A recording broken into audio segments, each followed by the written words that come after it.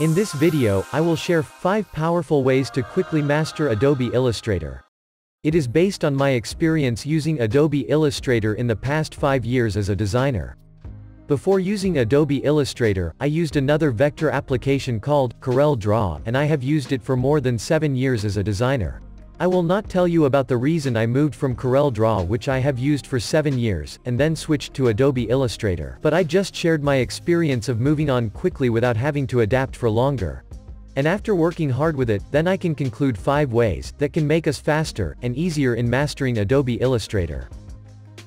If you are new to Adobe Illustrator and want to quickly master it, then don't skip this video and watch it to the end. Because there is always something new every day that is worth to learn. Without any further, the first, and most basic way, to quickly master Adobe Illustrator, is to learn the interface. By studying the interface, you can understand how the application works as a whole.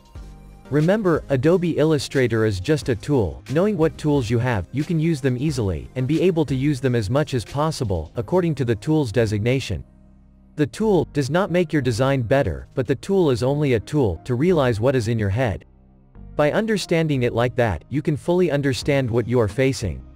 The Adobe Illustrator interface is very easy to understand, you just need to know its classification, and understand each of its functions. If you already understand the interface and everything in it, then there will be no case for you to be confused looking for a solution to your problem. You will know where to look for a solution, and know where to look for something missing in your workspace. Starting from the application frame. This is the overall workspace framework. Where this is where you work, and where all the materials and tools you use for work, are all stored here. At the top of the application frame, there is a menu bar. This menu bar is the main part of the application frame. Everything on Adobe Illustrator can be found here. Starting from the document setup, print, all about the type, effect, and help. All of this, you can get in the menu bar. On the left side there is a toolbar.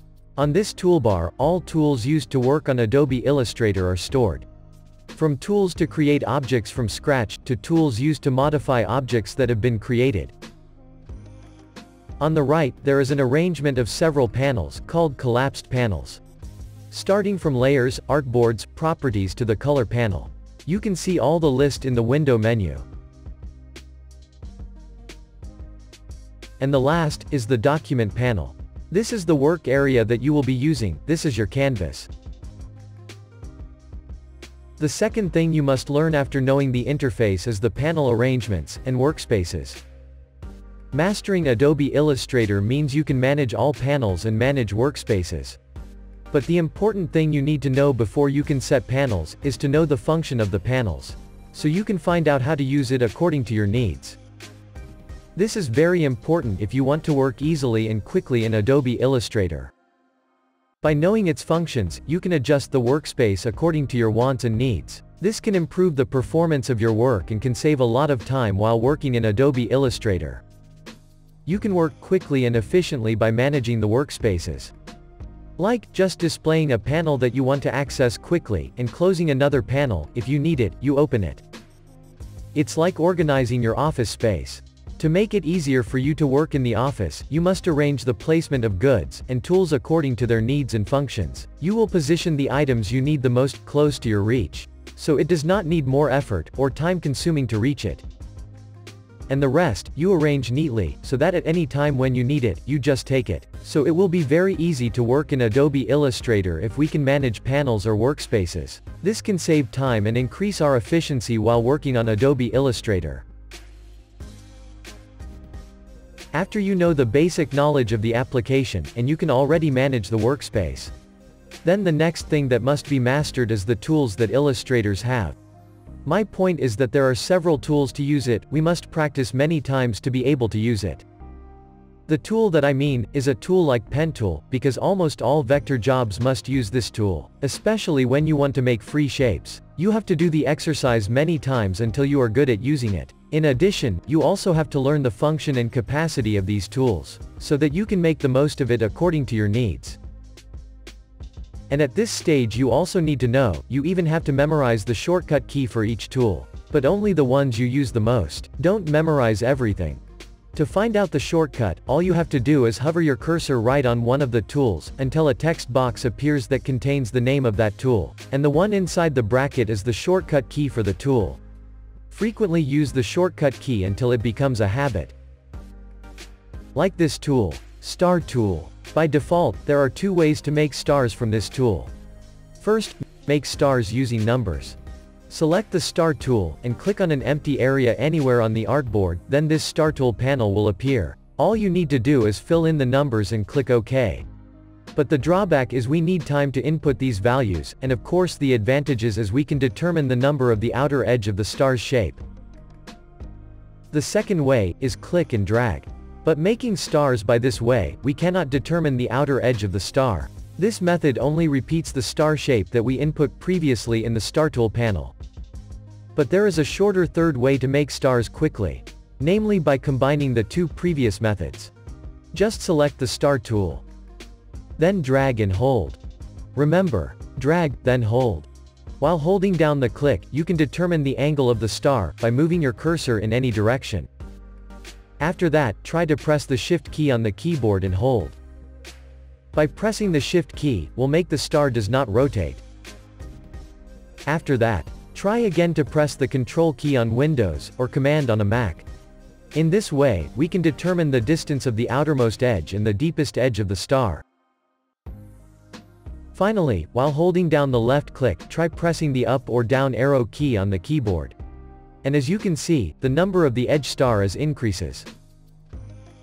From these examples, it can be concluded that there is a standard way and an advanced way. By learning and lots of practice you can undoubtedly master it quickly. There are several types of tools in the toolbar. They have hidden abilities that are waiting for you to explore. I mean you can be like professionals if you know how to use these tools, and of course a professional, they certainly master it. Next, is learn how to navigate in Adobe Illustrator. Navigating is one that must be mastered, when wanting to be at a higher level. Like professionals, it is very easy for them to navigate on canvas. They easily zoom out and zoom in. They are also very easy to maneuver from one side to another without the slightest obstacle. Like a digital map, on canvas we can shift, and search for something to and fro. Zoom in to see in detail, and zoom out to see all objects as a whole. So the canvas no longer becomes narrow or too large to explore. And when working professionally, we talk about time and efficiency. If this becomes an issue that makes us work slowly, or even makes us work harder, and draining our energy and mind, then this should be a consideration to be mastered. In Adobe Illustrator there are only two navigation tools available on the toolbar. Hand tool to move to and fro on the canvas, and zoom tool as you know to move closer and further away in the canvas area. Navigating on Adobe Illustrator can be done in three ways, namely by only using the mouse, only using the keyboard, and finally using the mouse and keyboard. Each function has advantages and disadvantages that are both used in different conditions. One example that I can show, is when using a hand tool. By default, when using this hand tool, we must select the hand tool on the toolbar, then we can use it. This way we only use the mouse to work with it. Usually professionals use this when their work is done, and want to double check their work in detail. Likewise with the zoom tool, because at the stage of rechecking the work, the use of these two tools is most often used. But what if we are still in the process of working? In the middle of the work, we have to move the canvas, or we have to zoom to reach the canvas area on the other side. By default, like the example I gave earlier, it can be done. But you have to stop the work while you do it, then you can use both navigation tools. But this way is very inefficient and wastes a lot of time, especially if you do it repeatedly. One example of a case that I often experience is when drawing using pen tool follows the sketch. There are times when I need to see the whole picture to control my work, and there are times when I have to look closely to do detailed work. But in that condition I don't want to be complicated to go back and forth using the hand tool, and zoom tool, and back again to pen tool. Even though I just want to focus on using pen tool. And actually, we can do this. We can do hand tool and zoom tool when we are using the pen tool. In cases like this, we don't need to go back and forth to choose the hand tool or zoom tool, when our pen tool is active. This can be done if we can navigate using the keyboard, or even can combine using the keyboard and mouse. For this reason, learning to navigate is very helpful, easier for us to do design work in Adobe Illustrator. We can increase efficiency and can save time and save our energy. There is no instant way to be able to master everything without effort and hard work. Skill is not owned from birth, he was born from the hard work. The professionals will also agree to this. If you study harder, work harder, and try with all your abilities, then you will be at a higher level every day. So the fifth way is. Challenge yourself with new tasks every day in Adobe Illustrator. Practice, practice, practice, and practice. That is the key. In this fifth way, I just want to say that, try to push yourself hard, to the next level. Try to make it harder every day. Then one day, you will get yourself at the highest level. And see you in the next video. I hope this video can be useful for you who watch this video. And hopefully this video can be inspiring and helpful. Please subscribe, like, or share this video to help this channel grow. Or if you have questions, or else, about the contents of this video, you can comment below.